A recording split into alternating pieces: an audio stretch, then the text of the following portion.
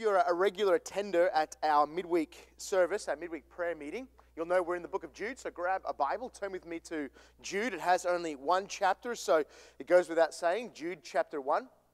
And our focus this evening will be to spend the predominant uh, amount of our time in verse 10, Jude chapter 1, verse 10. What I'm going to do, however, is start reading at verse 1, read up until verse 10, and then we'll, uh, we'll lift off with our exposition there. I'm doing that predominantly so that those that have sort of joined in uh, and are not that regular at our midweek prayer meetings, and maybe you haven't been able to just to keep up to date with uh, these particular messages being uploaded to YouTube, you'll find them under the subheading uh, Jude, I think it's called, Earnestly Contend, or something, something like that. I don't exactly remember the wording.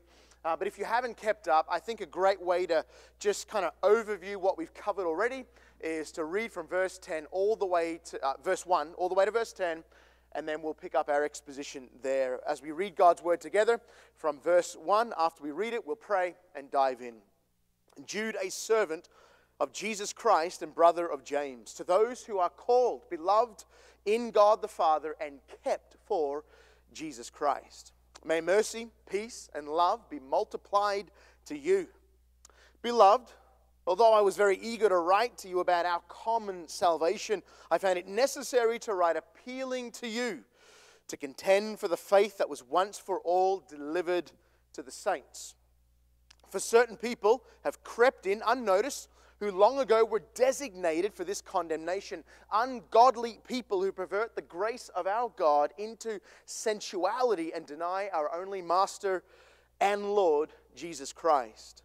Now, I want to remind you, although you once fully knew it, that Jesus, who saved the people out of the land of Egypt, afterward destroyed those who did not believe. Verse 6. And angels who did not stay within their own position of authority, but left their proper dwelling, he has kept in eternal chains under gloomy darkness until the judgment of the great day.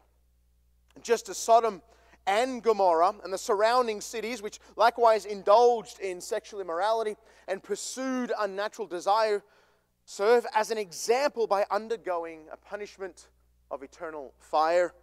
Yet, in like manner, these people, also relying on their dreams, defile the flesh, reject authority, and blaspheme the glorious ones. But when the archangel Michael, contending with the devil, was disputing about the body of Moses, he did not presume to pronounce a blasphemous judgment, but said, The Lord rebuke you. And here's our focus text for this evening, verse 10. But these people blaspheme all that they do not understand, and they are destroyed by all that they, like unreasoning animals, understand instinctively. Let's go together to the Lord to ask His blessing upon His word this evening. Father, we thank you for the richness, the, the true treasure that is your word, Lord God. We've walked verse by verse through, through everything that we've just read, Lord God, and our hearts have been stirred and challenged and encouraged. And I truly believe we've been changed, Lord God, through the ministry of your Spirit, empowering, dwelling, and using these very words, Father, your words. We know they're inspired. We know they are inerrant, they are infallible, they can never fail to do that which you send them forth to do. Father, may your word go forth tonight and bring about the change in our life that we seek according to your grace and all tending to your glory. We ask this in Jesus' name. Amen.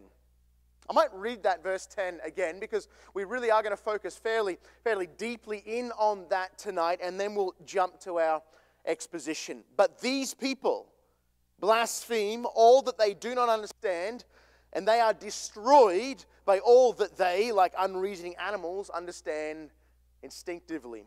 These people, when Jude uses that phrase, he's referring to the malcontents that we have we've come to affectionately call them. We, we, get that, we get that description from the book of Jude. They're called grumblers, they're called lascivious, they're called malcontents. This is how Jude describes them.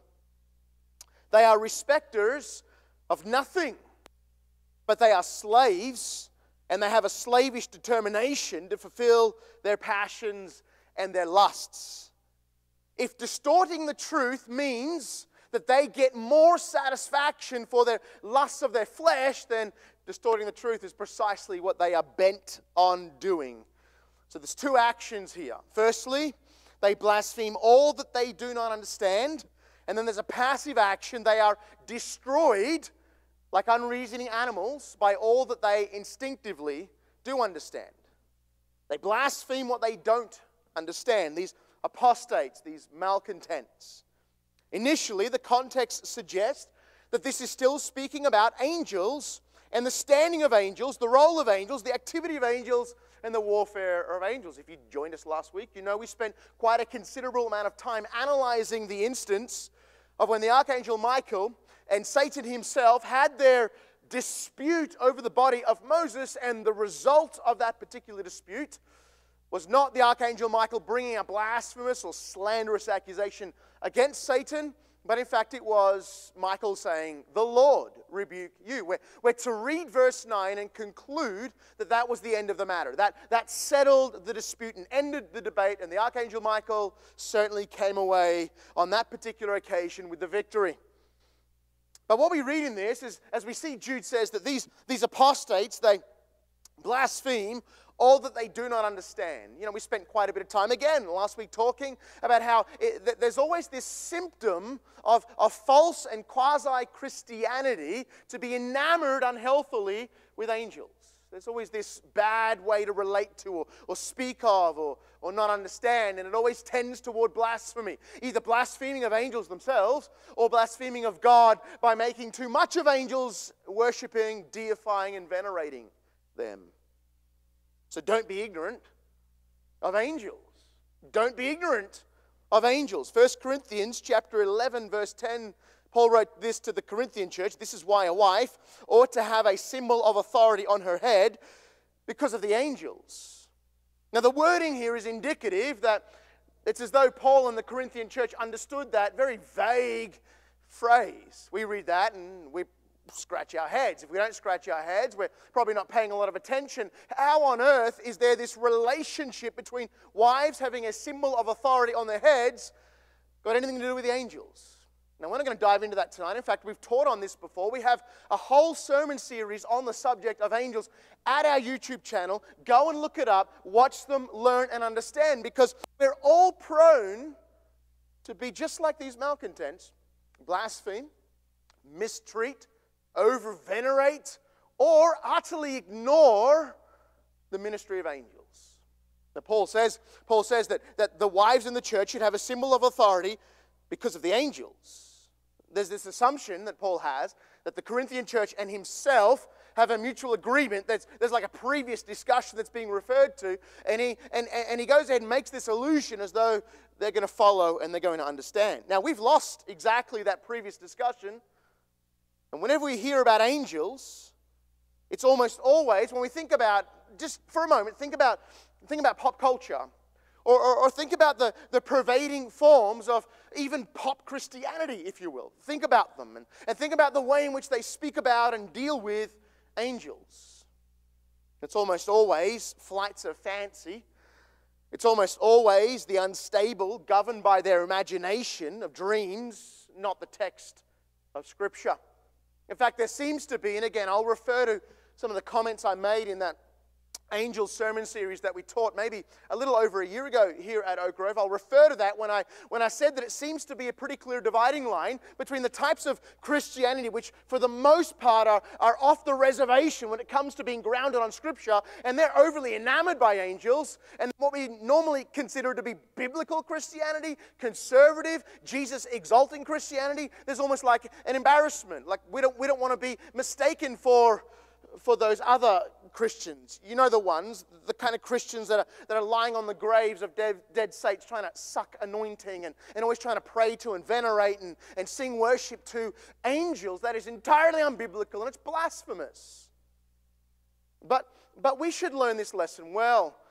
That just because this whole subject of angelology, that's a real word, I know it sounds made up, this whole subject of angelology is so often commandeered by the spurious and the fantastic and the, well, biblically unsophisticated, does not mean that we have a right to be ignorant. We don't. Scripture speaks constantly and in detail about the ministry, the duty, the service, the warfare of these glorious beings. Now, when Jude says that these grumblers and these cancerous truth betrayers blaspheme all that they do not understand. We ought not to think that this relates to angels exclusively. It does, in the first instance, speak about angels.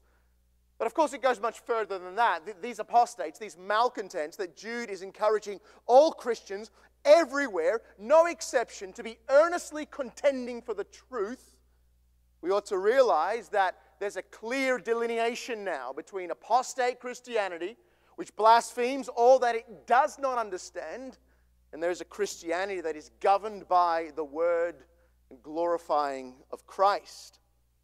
Blasphemy is actually the mother tongue of these apostates. Nothing is sacred, everything is the butt of the joke to them. There's no reverence in them.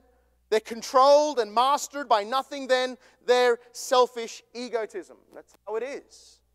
They're driven by an unrelenting desire to please themselves. Now, I can understand that this may paint a picture, this may paint a picture of someone utterly without self control, someone without any social refinement. But we know that these particular apostates that Jude warns us about are not obvious. You may think that as we read Jude's descriptions and you think, well, such an outlandishly apostate person should be pretty easy to detect. Should be pretty easy to tell them, pretty easy to identify them. But remember that Jude tells us they've crept in the church unnoticed. The CSB has this great way of phrasing it. it says they've come in by stealth. The NIV has a Another great way of phrasing it, they secretly slipped in among you.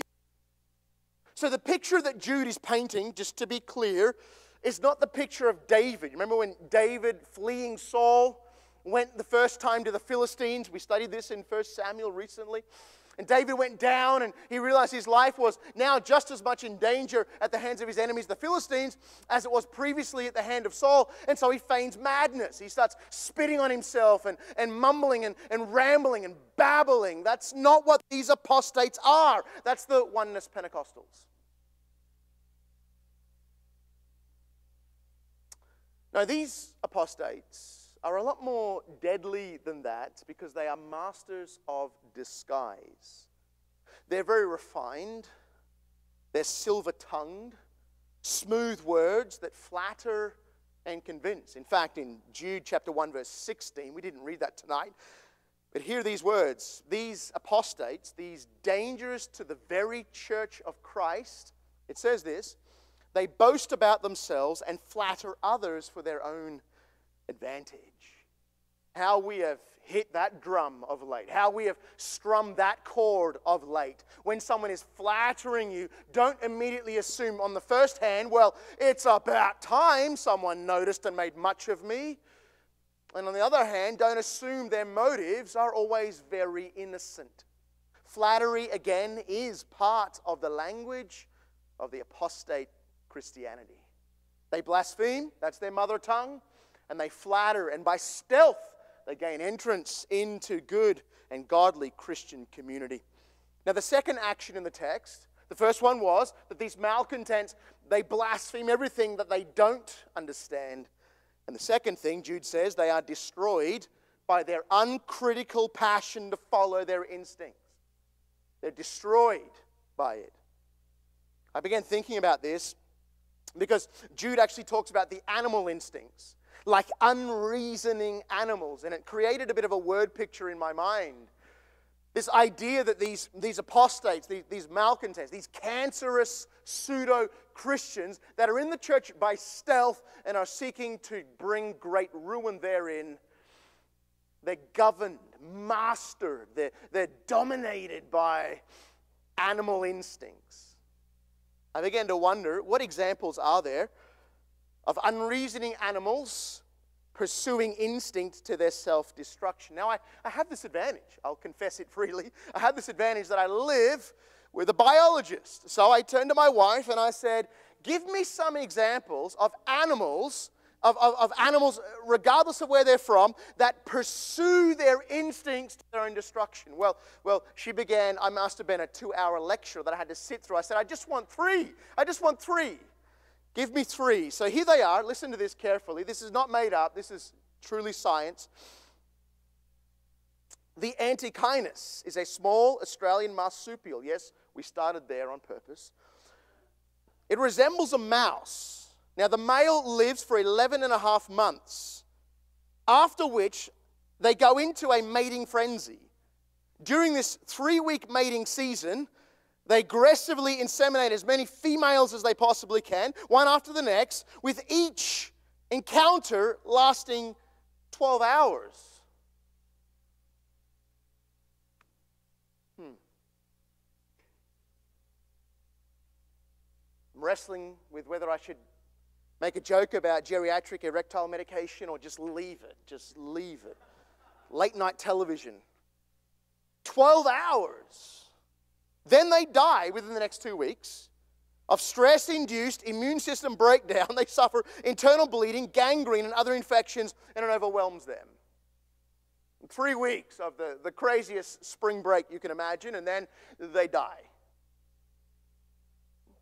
Another example the female praying mantis often eat their mates during the mating process, often just feasts on his head. That's a high price to pay.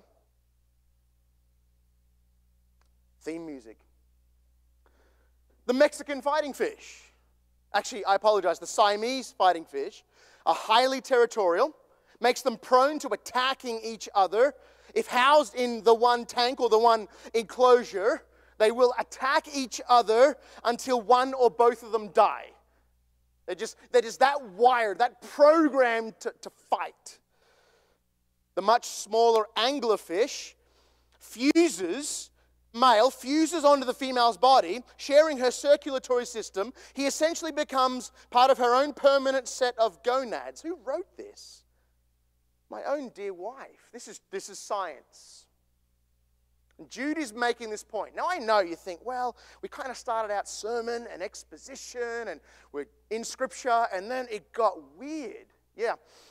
Jude wants it to get weird. Jude wants you to think about how in the animal world, animals will pursue what they are pre programmed to pursue, these instincts, even if it means it utterly destroys them. It doesn't matter. They've served their purpose to mate or to fight or to be territorial or whatever it is.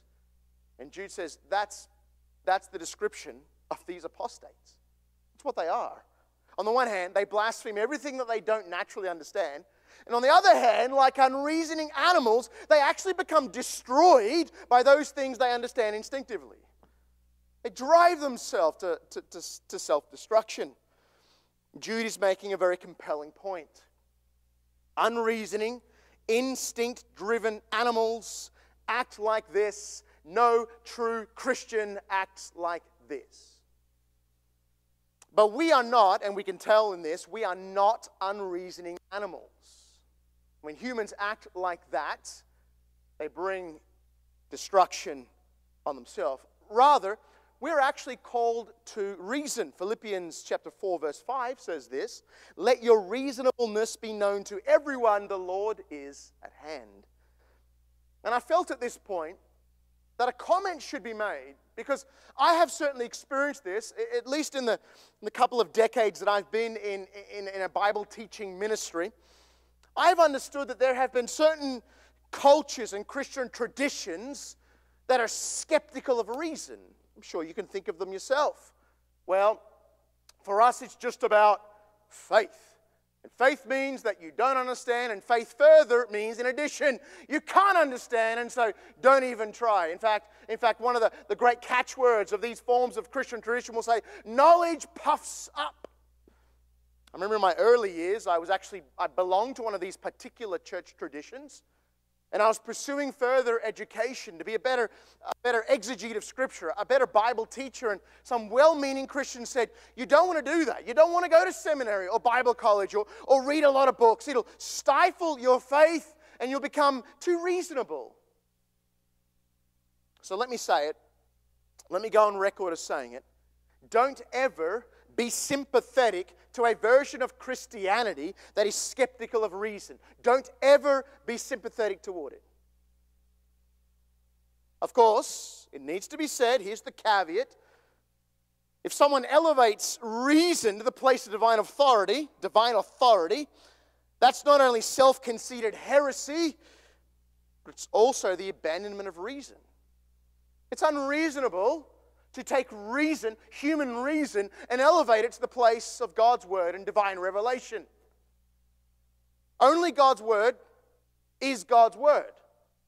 This is the rationalist, this is the humanist fatal flaw. Is their assumption that you can take reason and elevate it to the highest supreme place of authority, thus, I would argue, abandoning reason and also undermining the authority of the Word of God.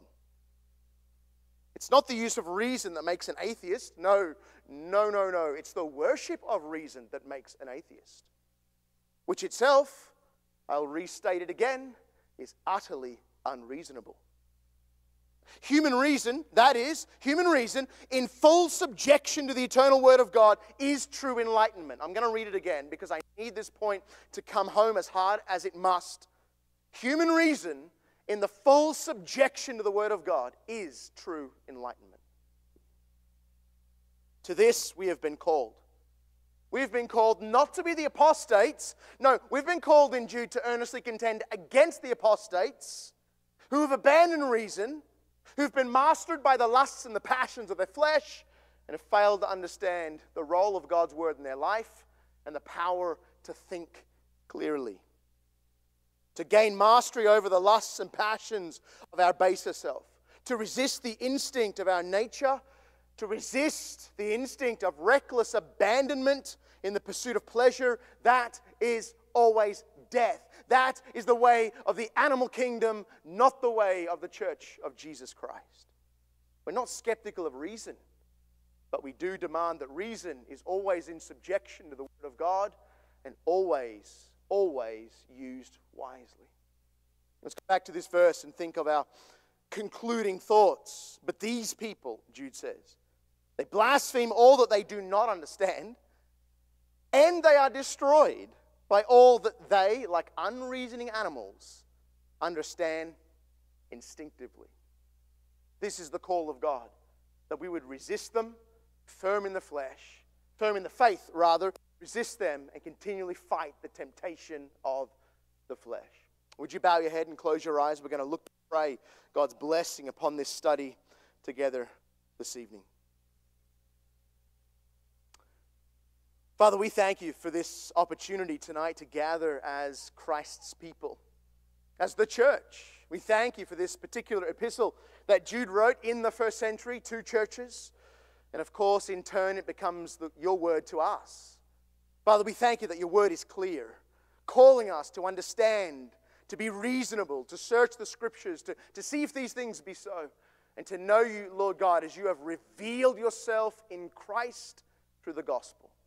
I pray, Lord God, that we would take this warning to heart tonight, not to be skeptical of reason, but to be skeptical of flatterers. That, that, that we would learn this well, Lord God, how to, how to earnestly contend in a spirit filled, scripture guided manner. That we wouldn't, we wouldn't be people like the Siamese fish that just fights till its own death for the sake of conflict. Or like those, those other animals that we spoke of, Lord God, that you designed to be this way, to be, uh, to be so governed by their instinct to mate and reproduce, they destroy themselves.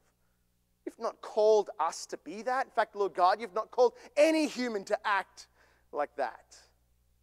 But Lord, we need to take this word to heart tonight. What areas of our life, Lord God, can your spirit shine the light of conviction on us where we have given over in reckless abandon to the satisfaction of the lust of our flesh? Father, how have we failed where we ought to have stood firm in the faith against malcontents and grumblers and, and divisive people in our own lives, in our own faith communities?